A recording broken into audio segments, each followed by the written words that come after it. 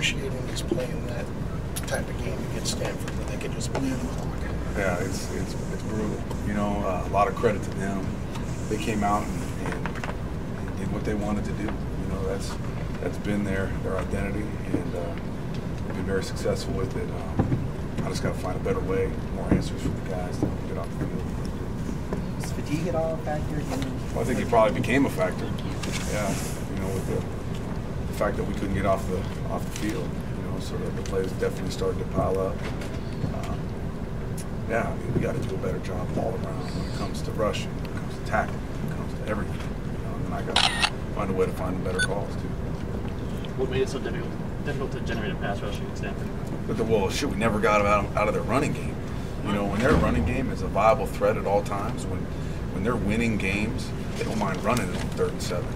You know, when there's always a run there, you know, you have to, you got to defend it. When you do that, it obviously slows down your pass rush a little bit. Um, at the same time, when we get there, we got to, we got to bring it down. You know, so got home a few times, just just didn't didn't finish the sack, unfortunately.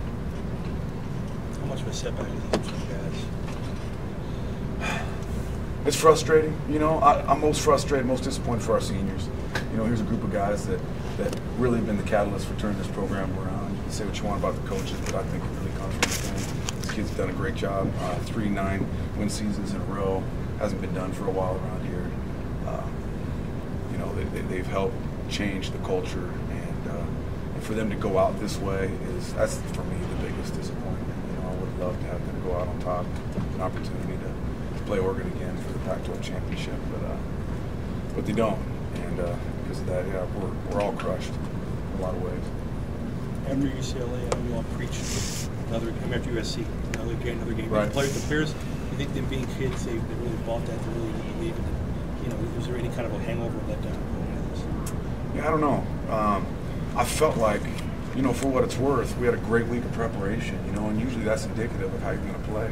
Um, you know, had we kind of let off the throttle a little bit, um, attention to detail wasn't there in practice, I might say that we had that hangover, but um, that wasn't the case this week. You know, I felt it all. Um, it just, our execution today wasn't very good, you know, our finish. It, it really was, it was technical stuff more than it was schematic stuff, you know, just tackling, getting on blocks, and covering your guy, you know, simple stuff. Yeah, simple stuff. Similar bad habits that you guys maybe got in in other games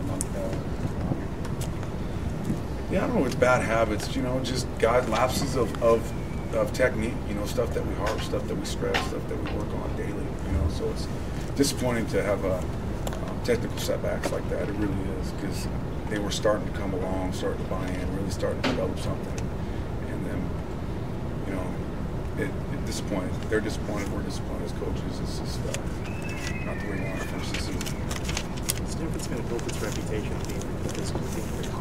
Right. How much of their physicality do you guys probably understand from your perspective? Yeah, they're a physical team. Um, Got to give them a lot of credit. Uh, um, and it's one of those things where when they get up early like that, and uh, and they don't necessarily, um, they're not forced into to situations where they got to stretch the field. And they got to they got to come out of that. You know, they, they can stay, you know, three tight ends, two backs, and, and kind of pound the rock. Uh, they're very dangerous because that's what they're built for. You know, it really is. Um, you know, we just we never got them in that situation where they, they were forced to score. They were forced to, to, to get out of that. So, uh, you know, you got to give them a lot of credit for that.